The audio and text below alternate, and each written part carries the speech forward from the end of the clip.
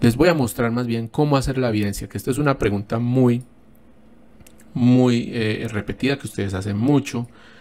Las evidencias entregables territorio las llama evidencias.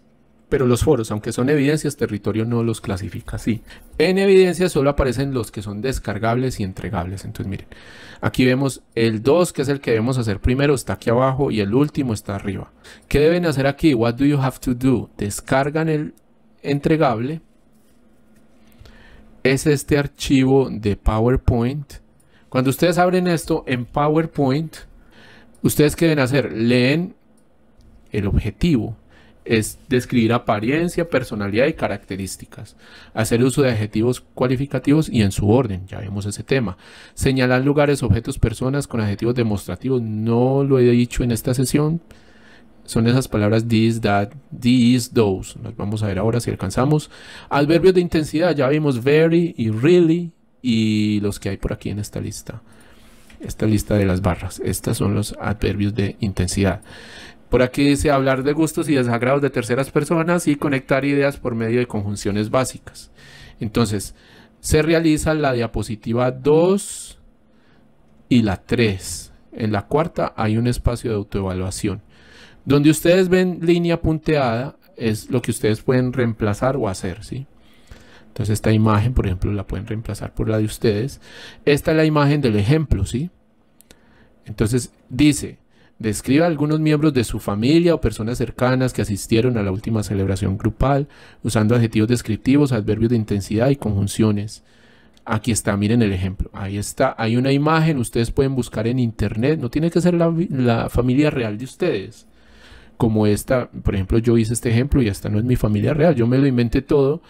Y bueno, describen la situación, describen las personas, todo lo que está en azul aquí son adjectives, todo lo que está en amarillo son really y very, que son los que vamos a usar. Aunque si ustedes quieren pueden involucrar estos que hay aquí en vez de really y very. Eh, las los conectores for, by, yes, and, so, or, ¿sí? Entonces al frente ustedes hacen su título, pegan la imagen que eligieron y siguen estas eh, instrucciones, ¿sí? Esos son como tips. Y abajo aquí dice, deje su pronunciación, su enlace de pronunciación aquí, como en el ejemplo. Ese texto lo pronuncian y dejan su audio aquí.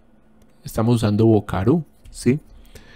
En la segunda parte ya, aquí había un grupo de personas.